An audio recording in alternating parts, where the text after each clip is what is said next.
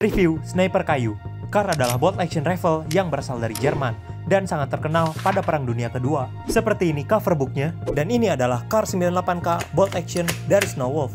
Amunisi yang digunakan Airsoft BB 6mm. Kita masukkan BB-nya ke dalam magazine.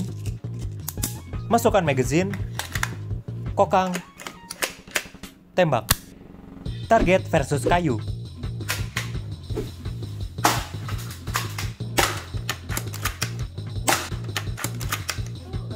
Akurasi dari kayu ini sangat presisi, cocok untuk headshot dari jarak jauh. Kerja bagus. Dapatkan kayu ini di pin komen.